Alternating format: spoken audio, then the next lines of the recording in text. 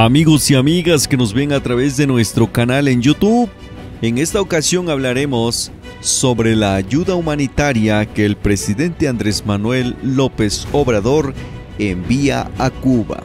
Este fin de semana estuvieron cargando víveres en el puerto de Veracruz, localizado en el Golfo de México, dos barcos de la Secretaría de Marina con un cargamento que incluye equipo médico como cubrebocas, jeringas y tanques de oxígeno. Además, se enviará a la isla leche en polvo, frijoles, harina de trigo, latas de atún, aceite comestible, gasolina y diésel. Varios camiones con cargamento de víveres arribaron al puerto de Veracruz en donde comenzaron a cargar esta ayuda humanitaria a los buques de la Secretaría de Marina, El Libertador y Papaloapan, que zarparán hacia Cuba. 138 trailers que descargaron alimentos y medicinas durante este fin de semana en los buques que saldrán del puerto de Veracruz a la isla caribeña, como lo indicó el presidente Andrés Manuel López Obrador. A través de un comunicado, la Secretaría de Relaciones Exteriores informó que la ayuda forma parte de la asistencia para el sistema hospitalario y la atención de la emergencia sanitaria. El gobierno de México reitera su compromiso de seguir realizando acciones de cooperación internacional y asistencia humanitaria con los países de América Latina y el Caribe para poder hacer frente a los estragos de la pandemia.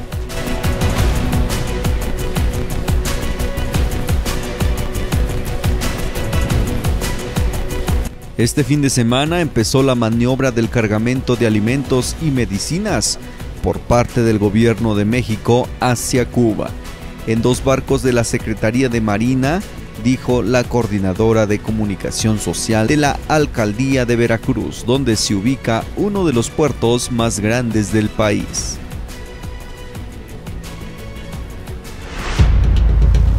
De igual manera, el presidente de Rusia, Vladimir Putin, envió a Cuba un cargamento de ayuda humanitaria por el coronavirus que incluye un millón de mascarillas médicas, informó el sábado el Ministerio de la Defensa, añadiendo que el presidente Vladimir Putin dio las instrucciones sobre la ayuda. La ayuda fue enviada a través de dos aviones militares que transportaban 88 toneladas de ayuda, incluidos alimentos y equipos de protección personal, entre ellos más de un millón de mascarillas médicas. Partieron el sábado de un aeródromo cercano a Moscú.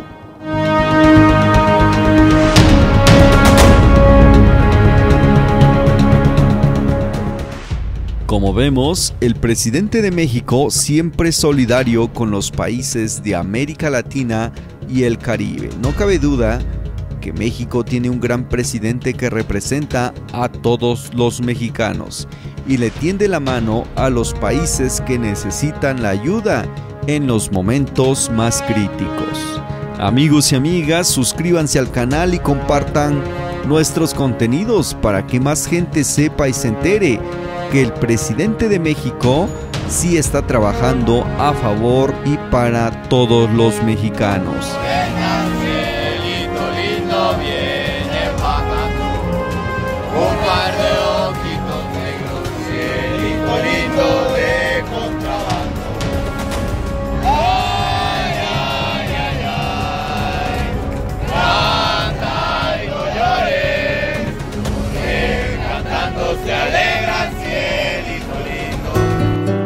Aprovecho para decir que nosotros tomamos la decisión por solidaridad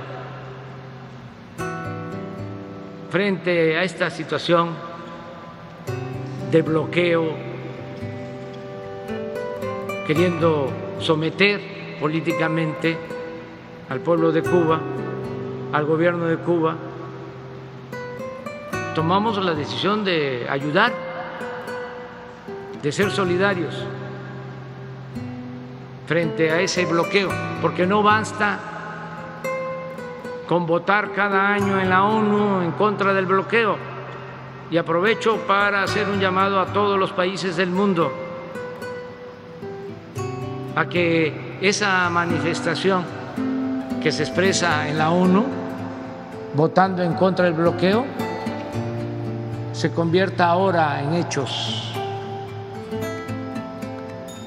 y que se ayude al pueblo de Cuba.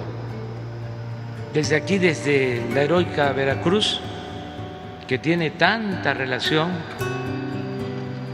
histórica con La Habana y con Cuba, van a salir dos barcos de la Armada de México con oxígeno y alimentos,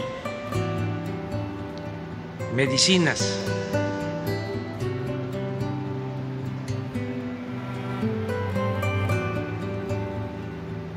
Y yo pienso que el presidente Biden debe tomar una decisión al respecto. Es un llamado respetuoso. Desde ningún punto de vista injerencista, pero hay que separar lo político de lo humanitario. La vida es lo más importante, es el principal de los derechos humanos, el derecho a la vida. Podrían hacerse muchas cosas, solo sugiero una, con todo respeto, para las dos naciones.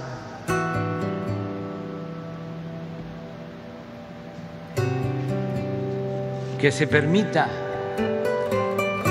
el que puedan recibir las familias de Cuba remesas de quienes viven y trabajan en Estados Unidos o en cualquier otro país del mundo. Como nosotros recibimos apoyo de nuestros paisanos migrantes que nos mandan cuatro mil millones de dólares por mes y que esto ha ayudado mucho a enfrentar la crisis económica porque es la principal fuente de ingresos que tiene nuestro país. Entonces, ¿cómo bloquear eso? Si ni siquiera es dinero del gobierno. y muchas otras cosas. Y algo que es fundamental, diálogo, diálogo, diálogo, diálogo.